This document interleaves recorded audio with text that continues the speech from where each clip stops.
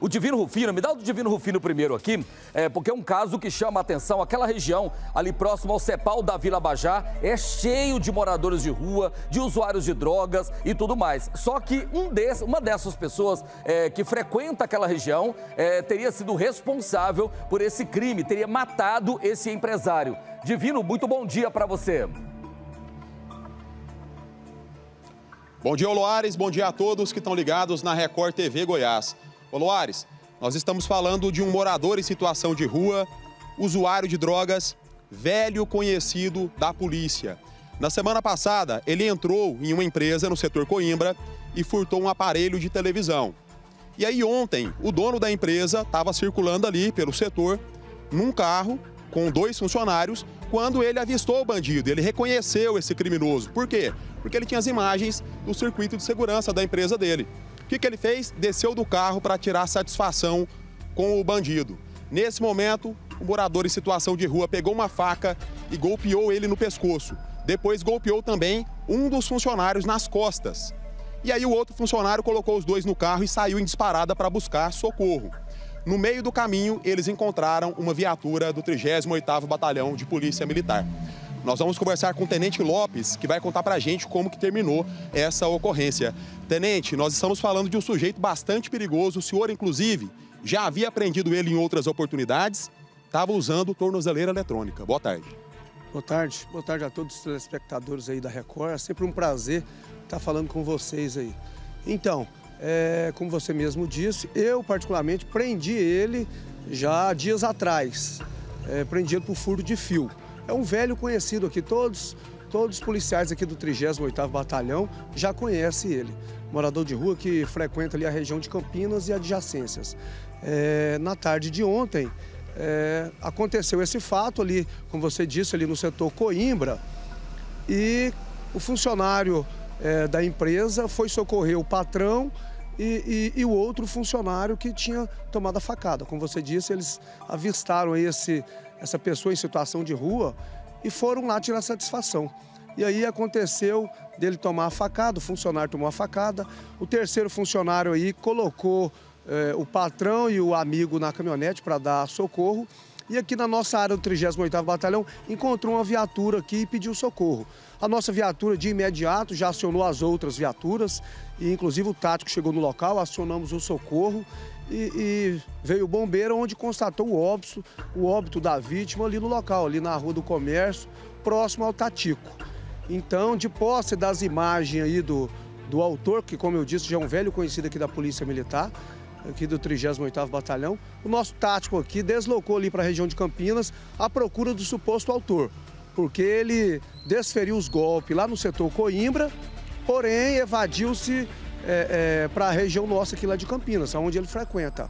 É, nós com a imagem já, de posse das imagens dele, a equipe do tático nosso foi muito competente e conseguiu é, é, dar uma resposta aí para a sociedade em menos de 30 minutos, empreender aí esse morador de rua aí que estava ainda de posse da faca ali nas proximidades da igreja matriz de Campinas.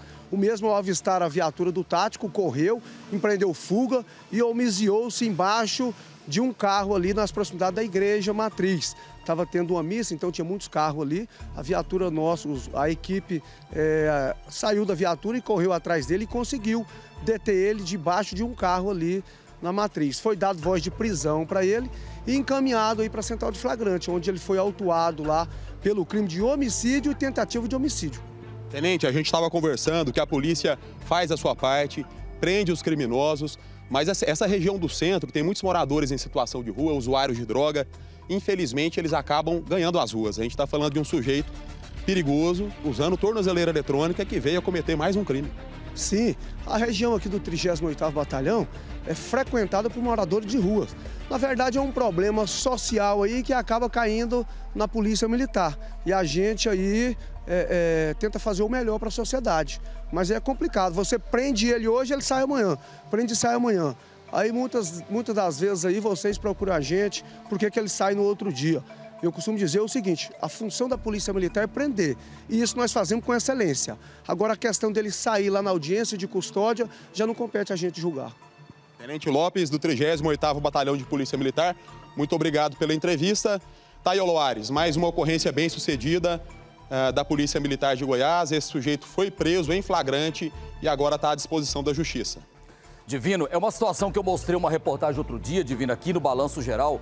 Os empresários, comerciantes goianos estão pedindo socorro para as autoridades, seja da Prefeitura de Goiânia, do governo do estado, do governo federal. O empresário não aguenta mais não aguenta mais. Começa lá das proximidades do terminal Padre Pelágio, passa por regiões de Campinas, Avenida Anhanguera, vai até do outro lado, é, é, moradores de rua, usuários de drogas. Era um problema social, agora é um problema de saúde pública, né? Porque são viciados em drogas e vira um problema de segurança pública. Meu amigo, se você pegar aqueles comércios lá da ponta do terminal Padre Pelágio e até lá, por exemplo, o terminal do Jardim Novo Mundo, esse pessoal está trazendo um problema seríssimo. O centro de Goiânia dá uma passada no centro. Mais da metade das lojas do centro de Goiânia está fechada.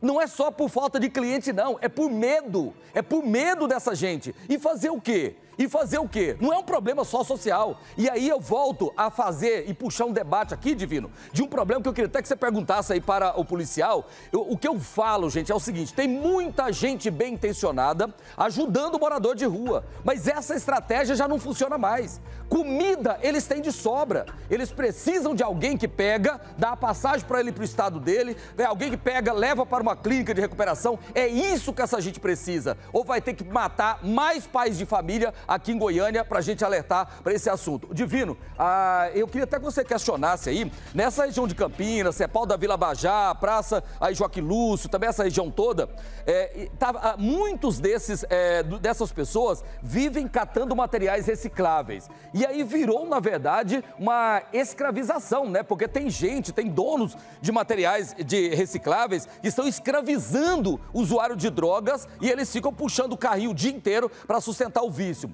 É, essa região é uma grande preocupação para a polícia, né, Divino? O Luar está dizendo, tenente, que muitos desses moradores em situação de rua, eles estão praticamente escravizados aí numa atividade de buscar materiais recicláveis, né? E a gente sabe que existem projetos sociais que oferecem comida, roupa para essas pessoas, mas tem que ir muito além disso. Essas pessoas precisam sair das ruas, precisam de ajuda mesmo, de fato, para a gente tentar resolver essa, essa questão da, da social e também dos crimes que são cometidos aqui na região do centro. Exatamente. É, a gente está aí dioturnamente aí conversando com os comerciantes e eles ficam ligando para a Polícia Militar pedindo o seguinte: ah, tem um morador de rua aqui na porta, na minha porta, criando problema, o outro liga que está criando problema, a gente vai lá, mas é como eu disse para vocês, isso é um problema social, não é nem função da polícia. Mas aí a gente vai lá, é até um abuso de autoridade. É, é, e por mais que a gente seja educado com esse morador de rua, é, vai lá, resolve o problema do comerciante, mas nós vamos levar ele para onde? Aí eu tiro ele dali, ele vai, ele vai perturbar o comerciante B, o C e o D, e assim vai. É um problema aí é, é, social aí que a, que a polícia militar fica assim, sem saber o que fazer, porque a gente prende e solta, prende e solta. Esse caso aí desse mesmo, desse homicida aí que prendeu, que matou aí esse comerciante, eu, eu mesmo prendi ele, ele tinha mais de 30 quilos de fio que ele roubou ali na região de Campinas. Os outros policiais aqui já tinham prendido ele, ele já estava sendo monitorado por tornozeleira eletrônica. Então, assim, é complicado. Mas eu quero dizer para a sociedade o seguinte: a Polícia Militar estamos fazendo nossa parte com excelência, prendendo. Se você observar, é, 80% desses moradores de rua aí já foi preso aqui pela Polícia Militar do 38º Batalhão. Volto com você aí no estúdio, Lores. Obrigado, Divino. Obrigado aí aos policiais. Ou seja, uma família nesse momento velando o empresário, né, que foi atrás do bandido que roubou a televisão dele. E casos assim, meu amigo, se medidas não forem tomadas, vão se multiplicar ainda mais. Obrigado, Divino.